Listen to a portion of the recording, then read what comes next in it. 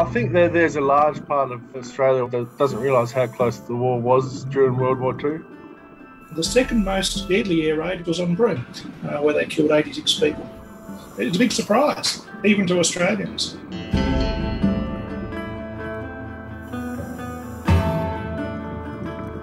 Hi, my name's Dave Jackson. I'm a diver with the Maritime Archaeological Association of Western Australia. I dive shipwrecks up and down the West Australian coast.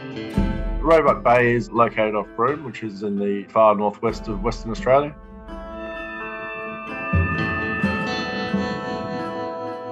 The two that I drove on, I was able to identify them as both being PBY Catalinas.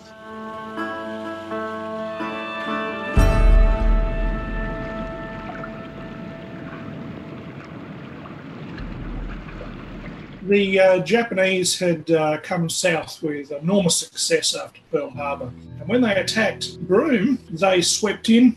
They attacked the targets of opportunity on the water, uh, the town itself, uh, mainly flying boats, not knowing they were full of civilians.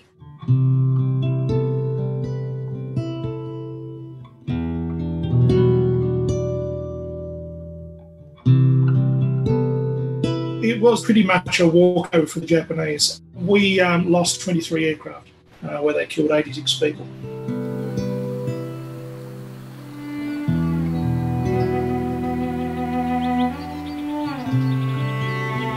Australia is a very big country, and Broome's just a very sleepy town. This is uh, the top end of Australia. It's pretty much deserted. In those days, almost all Australians lived in the south. Broome, where most people haven't been, you learn nothing about what happened.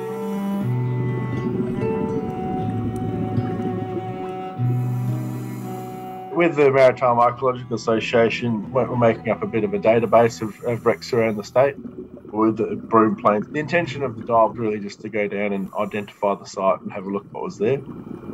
All the planes, when they were attacked, they'd all caught fire and burnt to the waterline. So it wasn't like there was a full structure of a plane sitting on the bottom.